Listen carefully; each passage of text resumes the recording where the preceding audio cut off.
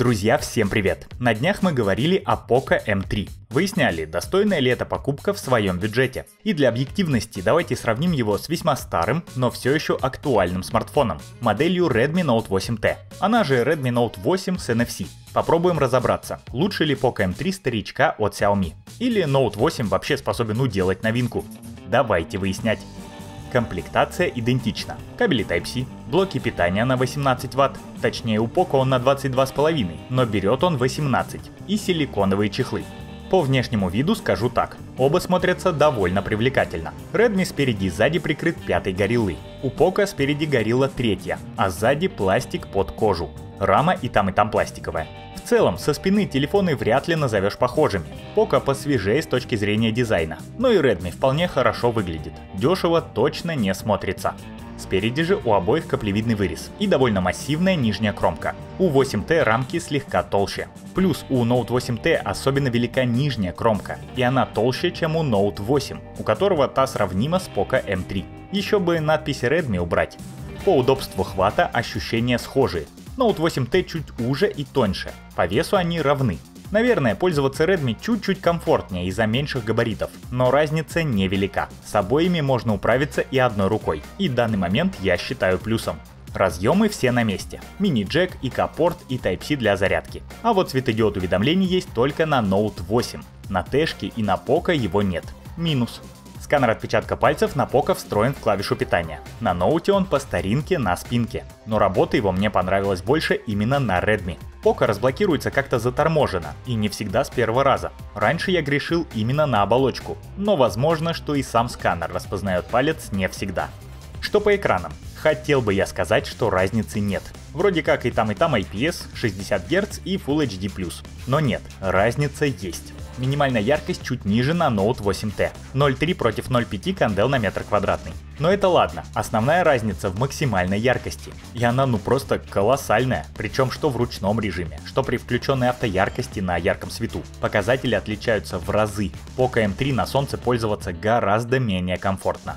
Зато тут лучше внешние динамики. У Note 8T динамик 1. Он реально громкий, хоть и средний по качеству. Для своего класса он хорош, но против стерео не попрешь. Poco M3 впереди.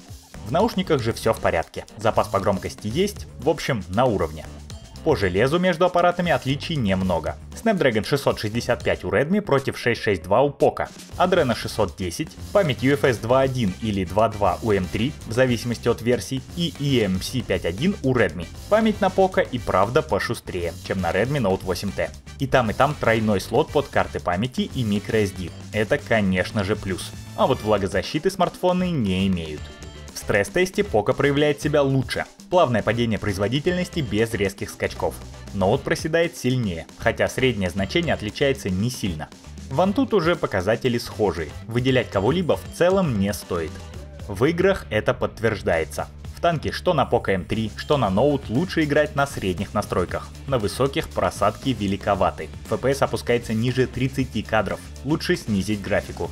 В Shadowgun Legends та же история. Никаких максимальных настроек. Но на средних поиграть вполне получится. В общем, для своего сегмента нормальная производительность. Но это если не касаться работы интерфейса. Poco M3 вообще страх. Мне иногда хотелось его буквально в стену кинуть. Настолько раздражал он меня своими подлагиваниями. Note 8T недалеко ушел. Работает он получше, но MIUI 12 слабое железо в целом противопоказано, так что тут только смириться и терпеть. Сейчас хожу с флагманским Sony Xperia 5 Mark II, телефон ракета. И после этих двух товарищей прямо чистое удовольствие. Разница в классе тут просто пропасть, конечно. По автономности Poco M3 явно впереди, что неудивительно. 6000 мАч против 4000 при одинаковом железе и дисплее. Redmi тоже неплох, в районе 7-8 часов экрана на одной зарядке получается, вопросов у меня нет, но Poco дает и 9, и 10 часов, так что тут без вариантов. Ну а заряжается Note 8T предсказуемо быстрее. 88% против 54 за час. Разница в емкости в полтора раза, конечно, дает о себе знать при равной мощности зарядки. Камера. Вот тут я ожидал меньше разницы. Но по факту Redmi Note 8T уделал конкурентов пух и прах. Во-первых, тут есть ширик. В Poco его зажали, и это уже является немалым недостатком. Во-вторых, само качество фото на ноуте определенно лучше. Цвета тут естественнее. Детализация средненькая у обоих, но Redmi точно снимает нормально за свои деньги. А вот Poco мне прямо не понравился. Может обновлений надо дождаться, но пока он серьезно уступает даже старому Redmi. Причем и при недостатке света разница тоже есть, хоть и меньше. Детализация на Poco снова хромает. В авторежиме он проигрывает оппоненту. В ночном все схоже, но тем не менее Note 8T и тут немного впереди. Камера у него лучше, это факт. Плюс Poco M3 полностью проваливается по видеосъемке. Максимум 1080p 30 кадров без стабилизации. В 60 fps снимать вообще нельзя. Тест записи видео Poco M3 и Redmi Note 8T. Съемку веду в 1080p 30 fps. Тест записи видео Poco M3 и Redmi Note 8T. Съемку веду в 1080p 30 fps. У Note 8T в 1080p есть цифровой стаб, плюс можно снимать в 4К 30 кадров и 1080p 60 fps, правда без стабилизации.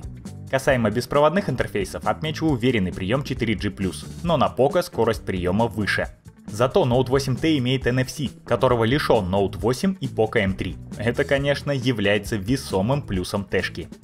Цены. 12 тысяч за Poco M3 в варианте 464. За 428 просят от 13 с половиной тысяч. Note 8, который без NFC, стоит на 1000 дороже, от 13 и от 14 с половиной тысяч. Note 8T 464 стартует с 15 тысяч, но предложений на удивление очень мало, а вариант 428 вообще не найти. Очень странно, восьмерка продается без проблем. И если по ценам в России все более-менее вровень, то вот если посмотреть на стоимость в Китае, Poco вне конкуренции. 130 и 150 долларов в зависимости от версий. Это 9,5 и 11 тысяч. Note 8T на Али почти невозможно найти, только по неадекватной цене. А Note 8 стоит 160-170 долларов. Прилично дороже, и у него тоже нет NFC. Так что как бы мне не нравился Note 8T, а мне он, наверное, показался даже интереснее, чем Poco M3, могу сказать, что время его ушло. Если у вас восьмерка или 8T, даже не думайте менять его на Poco. Redmi еще вполне актуален, но цена есть цена. Да, у Poco нет NFC, низкая яркость дисплея, плохая камера и тормозной интерфейс. Я не испытал никакого удовольствия от использования данного смартфона. Но за 9500 я вообще с трудом могу подобрать ему оппонента. Так что остается надеяться на обновление прошивки, которые смогут улучшить работу интерфейса и камеры. Как-то так. А какой из этих аппаратов вам нравится больше? А еще обязательно напишите, с каким смартфоном можно сравнить Poco M3. Можете также посмотреть сравнение Poco X3 и Samsung M51 или тест Pixel 5 против OnePlus 8 Pro. Подписывайтесь на канал, ставьте колокольчик и до скорого!